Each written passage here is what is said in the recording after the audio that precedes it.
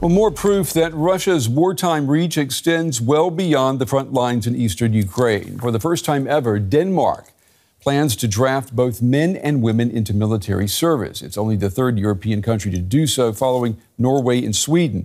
Beginning in 2026, the government wants to call up 5,000 co ed conscripts a year.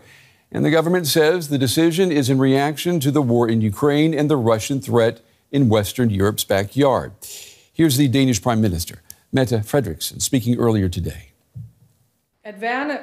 Protecting your country is one of the most honorable things you can do. That's why the government is proposing that we expand conscription, making the responsibility greater and the tasks more numerous. And we're proposing full gender equality. We have no doubt that increased gender equality will create a more modern and diverse defense that reflects the times we live in. Well, I'm joined now by Anna Sophie Alarm. She's a Danish lawyer, author, and journalist, and she joins us tonight from the capital of Denmark, Copenhagen. It's good to have you with us. It, maybe if you could put us in the mind in the mind of of the Danes. Explain to us why um, making the, the military service more co-ed. Why is that so important right now?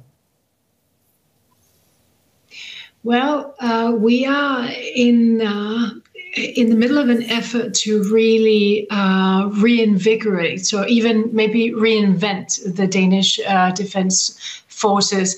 Uh, there's been cutbacks for years. Um, it, uh, there's been a lot of different scandals and trouble within the Danish uh, defense forces. And they also have the problem that it's very difficult to keep their personnel. Uh, we have a lot of people leaving uh, again. So this is, in fact, uh, you have to see this as the government's uh, effort to really try and create something entirely new. So it's not just also the female conscription, but it's a, a much longer conscript, conscription mm-hmm. than before. Before it was four months, now it's going to be 11 months. Um, and also uh, quite a, a, big boost of money also going into the defense forces, uh, about 6 billion euros over the next five years. And I, am wondering why Denmark has had a problem with retention. I mean, why have people been leaving the military? Uh, I think it's, uh, it's, many different things. Some some are organizational. Some uh, has to do with salary, um, opportunities, uh, leadership. Um, but it's quite significant uh, out of a body of maybe uh, five to seven, seven to nine thousand staff, not con- conscripts but staff. Two thousand in 2022 left. Uh, so it's it's quite a uh, return uh, of of people that you have to get in and retrain, uh, mm-hmm. etc. Um, and of course, new conscripts does not fix uh, that problem, but it's a new start. You know, we, we said earlier in the program that th- this decision is, is in reaction to the Russian invasion of Ukraine, the Russian threat to Western Europe. But your foreign minister has said that, and I'm quoting here, Russia does not pose a threat to Denmark. Is he right?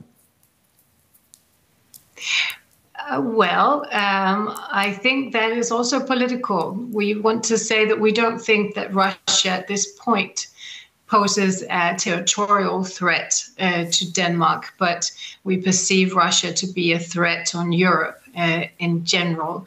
Um, and we also do have, uh, along with Sweden and Finland, um, a neighborhood uh, within the Baltic uh, Sea, and uh, and and that means that we are neighbors with with Russia, um, mm-hmm. and um, we feel, particularly after uh, the invasion of Ukraine, uh, that threat to be quite uh, present uh, and potent. In, in, this attempt to, to bulk up the military, to make the military more attractive to civilians, eh, how much of that is in reaction to the pressure that we saw under former U.S. President Donald Trump for all of NATO members to pay that 2% of GDP to NATO? Um, how much of it is a reaction to that? And how much of it is maybe a preparation for a possible second Donald Trump presidency?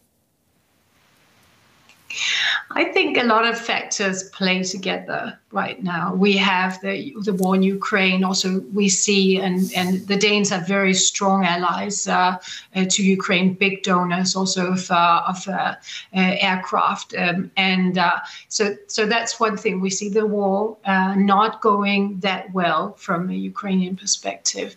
Um, we also see that that we maybe not be we maybe not in a position where we can bet on uh, American uh, support for the long run um, in Europe.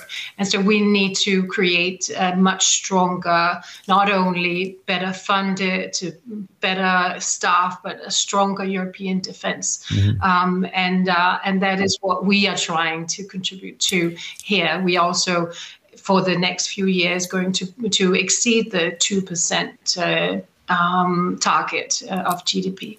And Anna Sophie, I've got about 15 seconds. Just want to ask you, what's been the public um, reaction to to news of you know including women in this conscription? Is there broad support for it? Well, uh, it's divided. There's divided support. And I also want to say that uh, there is a, a, series of parties. We have a lot of parties in the Danish parliament, but some, there's parties behind the general framework within the defense uh, regulation.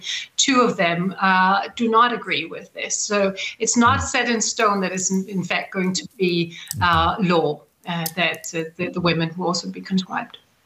Anna Sophie Alnap joining us tonight from Copenhagen. Anna, we appreciate your time and your insights tonight. Thank you. Okay.